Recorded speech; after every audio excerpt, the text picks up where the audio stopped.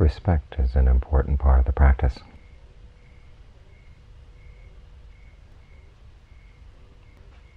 And it centers on respect for our own desire for true happiness. This is why every evening before we meditate we have the chant, May I be happy. it's not simply a desire for ordinary happiness, it's a desire for true happiness, the kind that comes from within, the kind that doesn't take anything away from anyone else. This is a desire that's worthy of respect.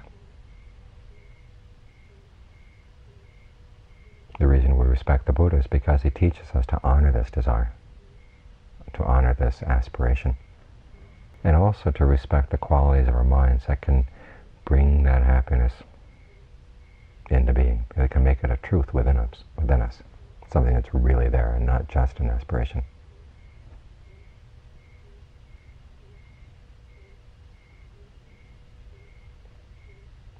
So it comes down to respect for three things. One is respect for our own ability to attain that happiness. Two is respect for the basic principles of cause and effect that can lead us there. It's not simply by wishing or wanting that we can get there. We have to develop skillful qualities in the mind. Like we're doing right now, training the mind in mindfulness, training the mind in alertness. Keep the breath in mind, that's mindfulness, and be alert to what the breath is doing. Know when it's coming in, know when it's going out. Know when it's comfortable, know when it's not comfortable. If it's not comfortable, you can change. You're not condemned to having to put up with whatever breath happens to present itself.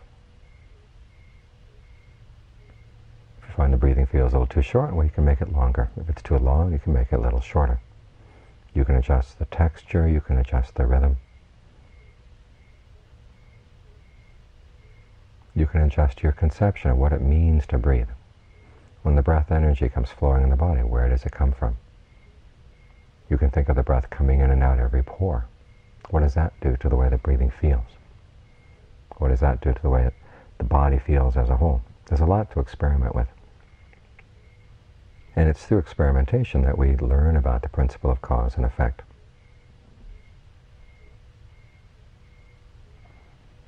Meditation is not simply a process of doing as you're told. It's learning about cause and effect in your mind by experimenting, by playing around, focusing in different spots to see what difference that makes. Adjusting the sensation of the breathing, adjusting your conception of the breathing to see what difference that makes. So you get a sense of what causes what in the mind, what causes what in the body, how the body and the mind affect each other as you develop skill with this principle, that enables you to be more and more adept at using the causal principles in body and mind to take you to ever more refined levels of well-being, more refined levels of peace. It's known as having respect for cause and effect, respect for the way things are. And finally, there's respect for people who've been on the mastered those principles and have advice they can give you. This is why we read Dharma books, listen to Dharma tapes. Why we have questions and answers with other people who've practiced. So we can benefit from their experience as well. Because the respect has to cover all three areas. Our own abilities, respect for just the way things are. There's certain things that no matter how much you wish them just can't happen. You've got to respect principle of cause and effect, and then respect for the people who have also experimented with that principle and gained results. When you can combine all these things, that's the proper use of respect. In other words, you don't simply listen to what other people say without listening to your own heart. On the other hand, you don't listen to your own heart without listening to what other people say. Both of these things have to be tested against what actually works. It's like learning any skill. You respect your own ability to do it. If you don't have confidence in your own ability, it's, it's hard to tackle it.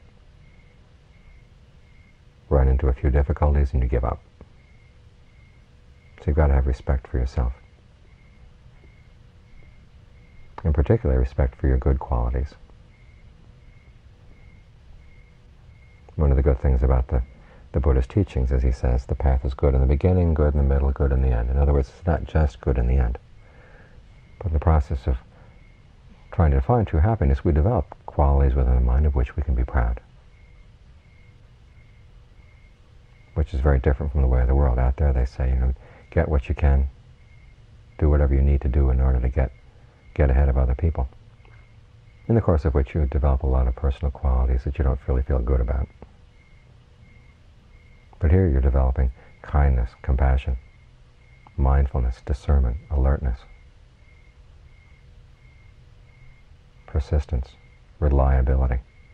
All good qualities, qualities that feel good in and of themselves and are conducive to true happiness. So it's not only a good goal, but it's a good path.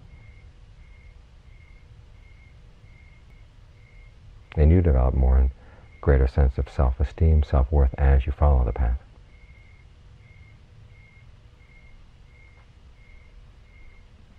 So that's the beginning of a, any skill, is self-respect. Secondly is respect for the principles of the skill in and of itself, the principles of cause and effect, because there are certain things you cannot change. No matter how much you would like things to be different, you respect the way things are. If it's going to take a long time, okay, you're willing to give it a long time. If it takes a lot of effort, you're willing to give the effort, whatever effort is required. When the Buddha talks about right effort, it's not just kind of a halfway effort or a mediocre effort. It's an effort appropriate to whatever is needed. Sometimes it's a very gentle effort. Sometimes it requires a lot more willpower and strength. but you have respect for whatever is required. And you do your best to fulfill the requirements.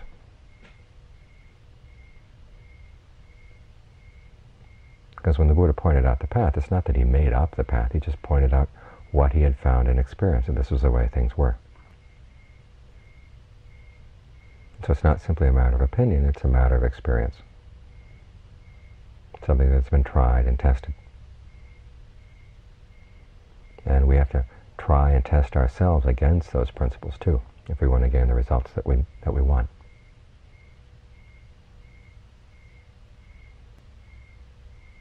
And this is combined with respect for the wise. We look for people who seem to have gained results in the path, who have the qualities that we would like to develop within ourselves, and we listen to them, we pay them respect. Ajaan Fuang had a nice story about paying respect.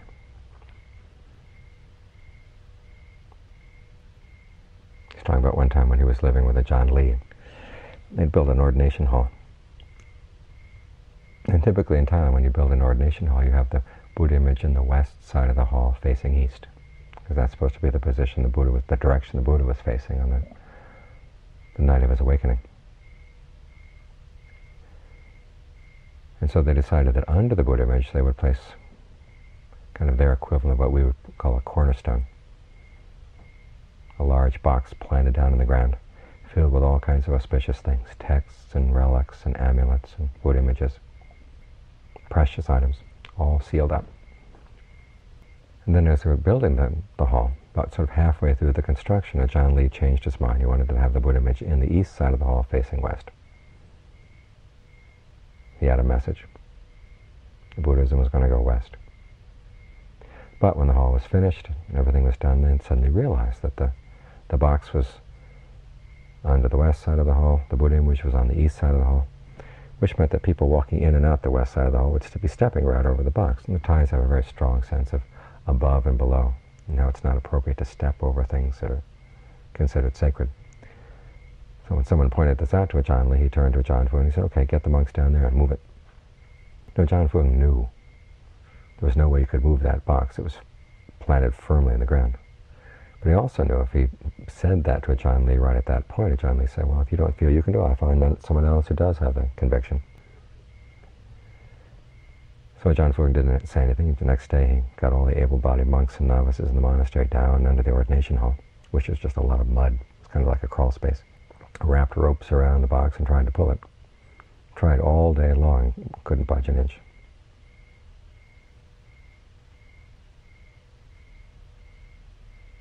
So that evening he went to see Ajaan Lee and said, how about if we make a new box under the Buddha image, open up the old box, take all the auspicious things out of that and put it in the new box and seal it up. And Ajaan Lee just sort of nodded slightly. When Ajaan Fuang told me the story, he says, that's how you show respect. In other words, it's not that the teacher is always going to be right, but you give the teacher the benefit of the doubt. If things don't work out, then you go back and say, okay, I've tried this, this, and this. Things didn't work out. Is there another approach? So it's a question of balancing all three things. Your respect for yourself, your respect for people with experience on the path, and your respect for simply what works in terms of cause and effect, what works in when you put it in, what, what works when you put it into practice. And the skill lies in balancing those three.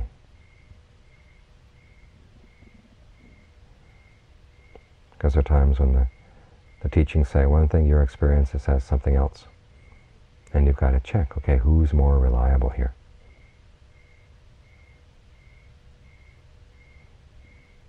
Because after all, the, the books can be mistaken. There can be mistakes in translation, mistakes in transmission. But you can also be mistaken too. This is why the Buddha once said, bring me someone who is honest and no deceiver, and I'll teach that person the Dhamma. It comes down to your own honesty. Your own honesty about what you do, your own honesty about your intentions, your own honesty about the results you really get. This is the quality you really have to depend on. Because it's what makes all the difference in the practice. If you're very clear about what you're doing in the practice, and what the results are, what gets connected with what, in other words, what cause is connected to what effect, it's a lot easier to make practice and progress in the practice.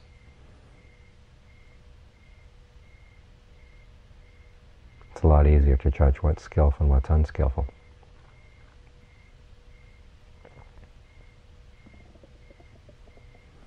It's interesting that in the, they call the Jataka tales, stories that are collected and said to be stories about the Buddha in his previous lifetimes, there are times when the Buddha doesn't act in all those honor, that, all that honorable a way. Times when he actually breaks some of the five precepts.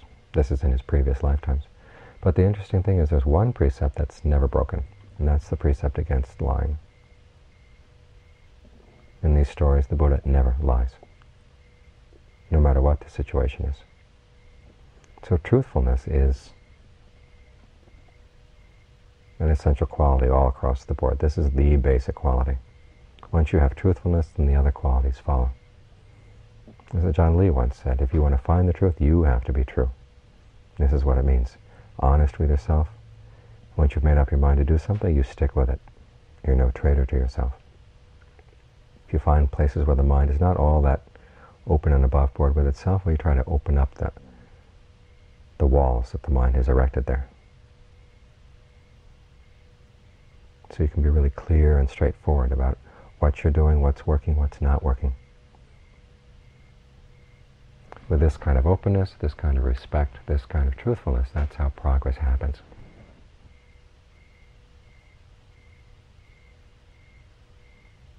So when we have that chant about having respect for the Buddha and the Dharma and the Sangha, what it comes down to is respect for the good qualities they developed. So you can use them as examples to develop those same good qualities within yourself. The qualities are there. We all have skillful qualities.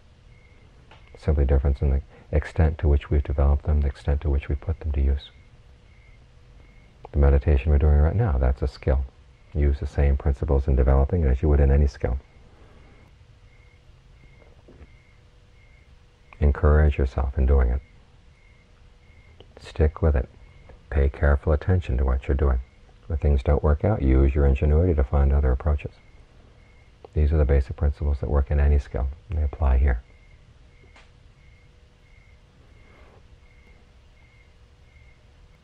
Notice when desire is helpful in the practice. Notice when desire is not helpful. When it gets in the way. learn how to make use of desire so that it is an, an assistance in your meditation. In other words, focus your desires on the causes. The causes here being mindful of the breath, being alert to the breath, and being ardent in keeping that mindfulness going, keeping that alertness sharp. Once you've got the causes down, then the results will have to come. All too often we focus our desires on the results. We'd like it to be this way, like it to be that way, we get frustrated when it doesn't happen. Well, if you're focusing on the, on the results, then what happened to the causes? They've been abandoned. So turn around, focus on the causes.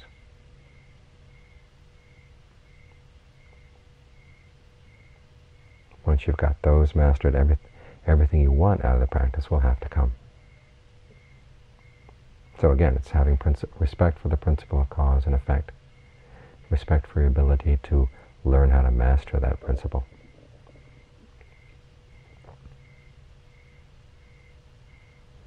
We sometimes hear that the Buddha said, you know, follow your own sense of right and wrong. Well, if you look at the passage that they quote, that's not what he really said. He said, look what, at what works in practice. When you see for yourself that certain ways of behavior give good results, okay, follow those ways. If you see that they don't,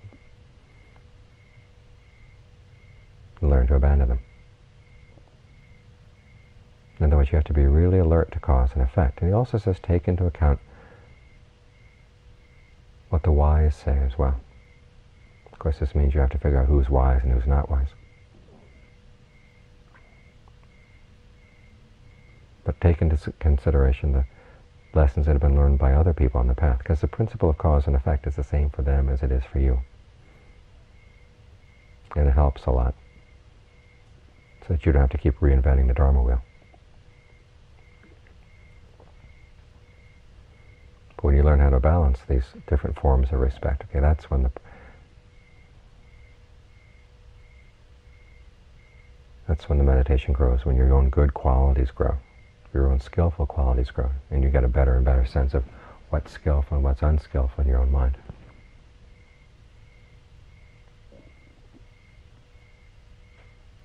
Ajaan Fuang once said that respect is a sign of intelligence. And this was the kind of respect he was talking about.